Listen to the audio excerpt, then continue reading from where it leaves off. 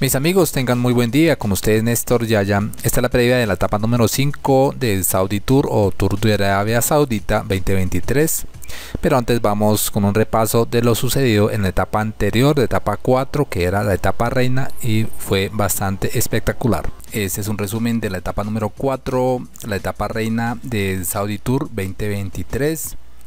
Es un recorrido de 163 kilómetros entre Maraya, que es un edificio en forma de espejo, y Skyviews of Harad, Ubarit, que es donde queda un puerto de montaña. Obviamente que la llegada no es en el puerto de montaña. Se inicia la etapa y se pasa por Winter Park en el kilómetro 17.5. En el kilómetro 42 se encuentra el primer sprint intermedio se sigue por un terreno plano, vuelve y se pasa por Winter Park, luego se pasa por el segundo sprint intermedio, en el kilómetro 106.5 se sigue por un terreno sube y baja, no es totalmente plano, sino sube y baja. Luego en el kilómetro 146.5 se pasa otra vez por Winter Park y se empieza a ascender hacia el puerto de montaña que no está categorizado pero que ahí tiene una bonificación especial son 2.9 kilómetros con un desnivel promedio del 12%, aunque también tenía algunos desniveles de hasta el 22%, una absoluta pared. Y luego de pasar el puerto de montaña ya se encontraba un terreno plano y la meta era así en ese terreno plano, más bien con una pequeña tendencia al descenso.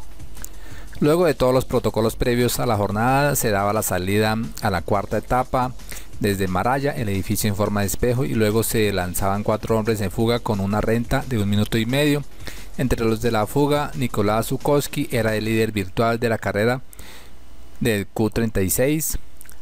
Antonio Barash pasaba primero en los dos primeros sprint intermedios, mientras el pelotón estaba controlado por el Bahrein que trabaja duro para mm, controlar la fuga y proteger a su líder Milán, aunque al final entregaría su milos de líder.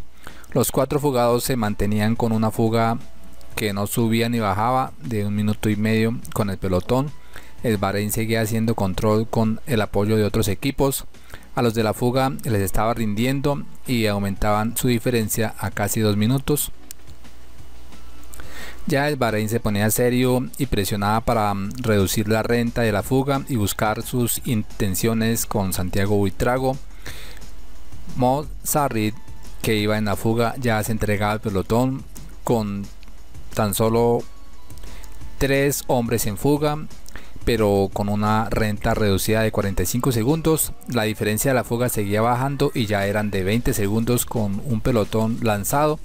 Ahora se quedaba Barrage con problemas mecánicos, era recogido por el pelotón, quedaban dos en fuga y ya iban por ellos. Quedaba solamente Zukoski adelante y ya se iba a entregar al pelotón que no perdonaba. Y en el pelotón se empezaba a quedar gente uno a uno, se empezaban a rezagar del pelotón, empezaba la rampa dura y seguía quedándose más hombres los escaladores endurecían el ritmo y seguían sufriendo hombres atrás. Quedaban cinco hombres adelante de Fórmulo y Guerreiro haciendo batalla a Huitrago. Algunos trataban de llegar de atrás cuando se suavizaba un poco el terreno. También se quedaba Gross Scharner, que era uno de los candidatos a la etapa de hoy. Se ponía a perseguir de Fórmula atacaba y respondía a Huitrago, Guerreiro pasaba al frente y le respondía a Huitrago también, Guerreiro se llevaba la meta bonificable, Huitrago pasaba segundo, seguían tres en fuga con Buitrago y le sacaban 55 segundos a los que perseguían con un minuto y 45 respecto al lote principal o el lote que estaba más atrás seguía Charner luchando por conectar, lograba conectar y eran cuatro hombres en fuga. Milán seguía en el grupo de persecución, Molberger perseguía a los fugados donde estaba Guerreiro, su compañero. La renta con la persecución era de 22 segundos y 46 con el tercer grupo. Adelante Guerreiro se lanzaba y Buitrago lo seguía. Intentaba irse Buitrago y lo controlaban. Rubén Guerreiro se lanzaba en la etapa y se la ganaba. Segundo pasaba David de Fórmulo y tercero Buitrago. El podio de la general quedaría de la misma forma, en el mismo orden de la etapa de hoy. Hay que tener en cuenta que el terreno no le favorecía a Santiago Buitrago y a Guerreiro, que era un hombre más grande y que podía con, esas, mm, con esos pequeños repechos. Entonces Rubén Guerreiro es el campeón adelantado o anticipado, ya que falta una etapa que podría ser una etapa de transición, aunque también hay mm, etapas que aparentemente son de transición y pueden cambiar las cosas. Sin embargo, pues es casi seguro que Rubén Guerreiro sea el campeón. Santiago Buitrago quedaría en el podio en el tercer lugar. De todas formas, un mm, buen resultado para para Santiago Buitrago, para el Bahrein y para Colombia, que es su nacionalidad.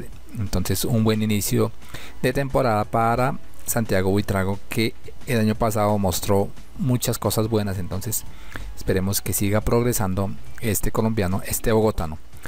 La clasificación de la etapa entonces ganador Rubén Guerreiro del Movistar Team portugués 3 horas 45 minutos 1 segundo. Segundo lugar, David de Fórmulo de UAE Team Emirates con el mismo tiempo.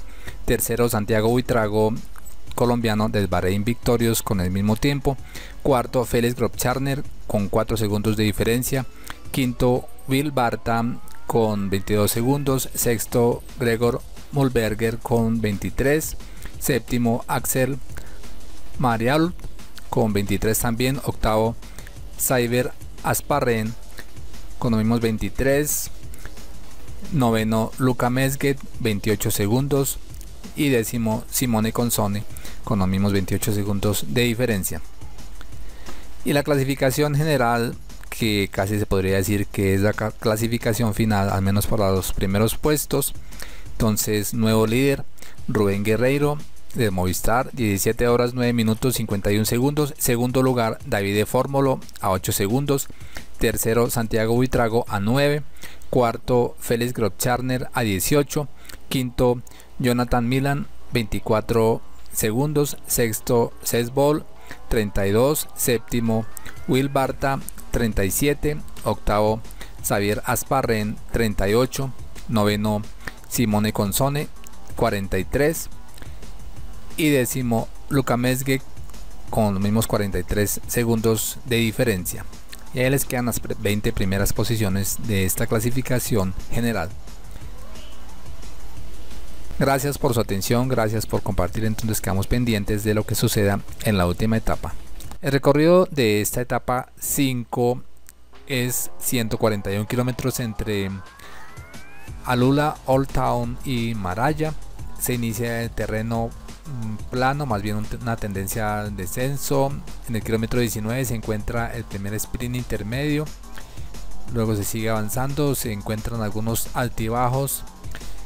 Se encuentra en el kilómetro 52, se pasa cerca del aeropuerto Alula International Airport. Luego se asciende a un puerto no categorizado y en un ascenso se encuentra el Segundo sprint intermedio, kilómetro 68, tiene bastante inclinación ese ascenso. Luego se sigue ascendiendo un poco y luego sigue una serie de sub y baja para encontrarse un sector de gravel que mm, puede ser bastante complicado para algunos que no tengan mucha experiencia.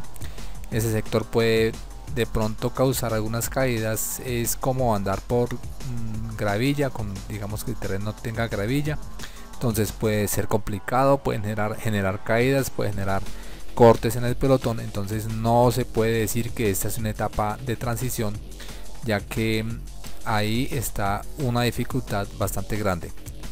Ese sector se llama Hesgra, es el único sector de, gravel, pero bastante extenso. Mm, son algo así como unos 10 kilómetros. No tengo como mucho mucho cálculo cuántos kilómetros serán. Luego al pasar por ese gravel se encuentra un terreno de un poco de ascenso, se encuentra el último sprint intermedio o un sprint bonificable en el kilómetro 120.5. Luego se sigue ascendiendo y se llega a, Sharp Valley North Gate donde hay un, puerto pequeñito como un muro y la llegada a la meta es también un pequeño murito aunque no tiene eh, cuál es la longitud ni cuál es la inclinación pero se ve un, repecho bastante durito. Y ahí se encuentra Maraya que es un espejo un edificio espejo un edificio que es en forma de cubo y que mm, es verdaderamente un espejo donde se refleja todo alrededor que por lo general está rodeado de rocas mm, muros naturales entonces es un sector bastante turístico un sector donde creo que en ese edificio hay hoteles entonces eh, más tarde o más adelante les voy a mostrar una imagen de ese edificio que es como una maravilla arquitectónica y está ubicada entonces en Arabia Saudita.